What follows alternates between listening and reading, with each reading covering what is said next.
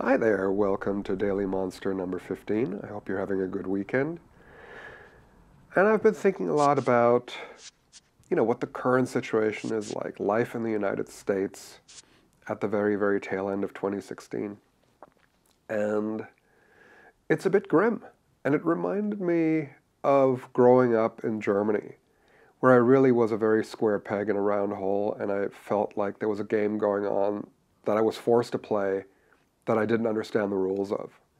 Where you know you did something where you know you, you bat the ball and you think okay well if I bat it this way it's going to go in this direction and then you know maybe it's going to hit the goal or something. Um, and then that just does not happen at all. Like you hit the ball and it turns into a lizard.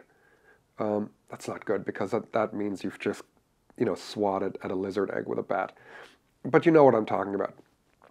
So you know, like you, you just get unpredictable results based on what you consider rational, which is really frustrating. And it's not just frustrating, it's really destabilizing because it calls into question your ability to perceive reality.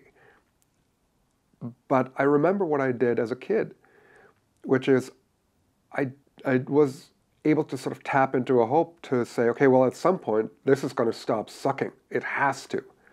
And so then I want to be in the best position for that. And so I made a lot of art, I read a lot of books, I did a lot of stuff. Instead of just hiding out or trying more to conform, I really just made a ton.